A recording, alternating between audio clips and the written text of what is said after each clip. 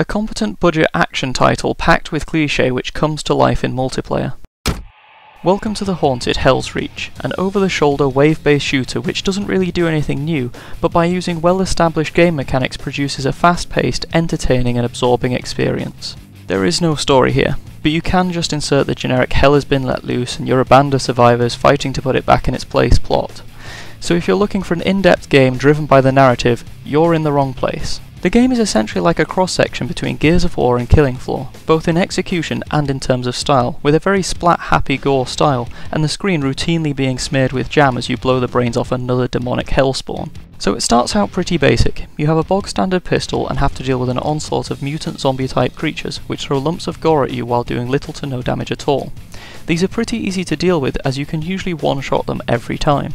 After a few kills you'll get your hands on the ammunition for your other guns, namely a shotgun and a rifle, which allow you to spray and pray a little more, taking out entire batches of creatures, allowing you to really start building on that combo system. It takes a little while to figure out how best to work with this system to bring the points pouring in, a lot of it is to do with finding a good spot surrounded by spawn points, which allow you to have a consistent flow of creatures to keep the combo rolling. But there's also a whole bunch of different methods to get points, such as getting headshots using the various explosives and traps dotted around the environment, and interrupting attacks before they land. A lot of these will give you more points, but as mentioned, the key to scoring highly is joining it all together in one long combo. Another element of the gameplay is the routinely spawning health and chronostones which spawn relatively frequently. The health stone, as you might expect, restores your health when you destroy it, but the chronostone has a timer behind it, which if left to its own devices, will eventually detonate.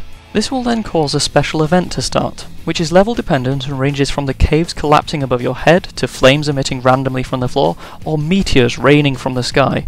Each one of these is a massive threat to yourself as well as the enemy, but can often be avoided by heading in or outdoors. These stones appear randomly on the level, meaning you can't just keep your head down in one area and let them come to you. You're instead forced to find them, and if you're not fast enough, one of the demons will pick the stone up and run around the map, dragging you through massive congregations of hellspawn.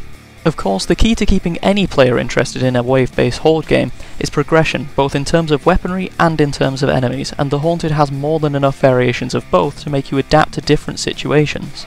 To upgrade your weaponry you have a bar which gradually fills up with every kill you make, and once you fill it, the next kill will drop a weapon upgrade which activates on whichever weapon you happen to be wielding at the time. The system works well until weapons are running low on ammo, as it will automatically change if you have none left, sometimes resulting in you upgrading the wrong weapon. Each of the weapons has six potential upgrades, which although most of them aren't particularly unique, there is one major exception in the form of the superbly named Arsonator for obvious reasons which is probably the most powerful weapon in the game as it can dispatch of just about anyone. The monsters also get progressively harder as you make your way through the waves, and although a lot of them are variations on creatures we've all seen before, they have enough of a twist on them to make them both distinctive and interesting. They range from very basic things like ogres with clubs to creatures which pounce, but the most interesting ones are the ones with a special theme, like the one with a huge mechanical jaw which breathes fire and chomps on your face when it gets close enough. There is also an armoured variation for a lot of the monsters, which although you can eventually wear them down with weaponry, you're best off charging up your melee attack and taking a swipe at them to destroy them in one powerful strike, or using the various explosives lying around the map. So essentially it's very generic but with enough variety and with competent execution of game mechanics, which when it's all combined together makes for a very entertaining and addictive horde shooter. It's without a doubt a budget title, but it doesn't skimp on the elements which are important. The game is stable and packed with content. So many other indie titles have tried and failed because they were trying to do too much. My only real complaint would be that it's got quite a heavy focus on the multiplayer element. The game is undoubtedly better when you have a full squad of people, but this is a small scale indie shooter, and it really shows when you load up the server list. I managed to get into one game with a full team, and it was so much better. It was faster, there was so much more happening with the increased number of mobs, and the possibility of resurrecting each other created desperate rescue missions, making it a much more complete experience. There are 8 levels in total, which translates to about 5 hours of content if you complete each one once. It's definitely worth the price and I recommend giving it a try without a doubt, but you will have a much better time if you can persuade your friends to split the 4 pack with you.